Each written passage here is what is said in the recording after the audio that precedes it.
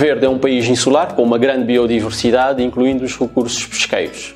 Em Cabo Verde, o setor das pescas é fundamental para a economia, uma vez que emprega mais de 6 mil, de 6 mil pescadores de forma direta e outros tantos de forma indireta.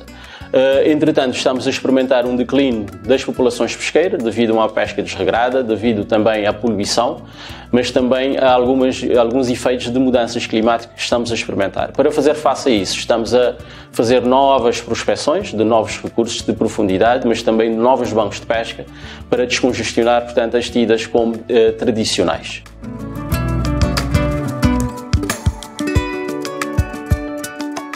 Por ser uma atividade económica, eh, devemos entender a pesca, seja montante, seja ajusante, por isso estamos a fazer estudos de cadeia de valor para saber, para rastrear todo o processo de comercialização uh, pós-captura.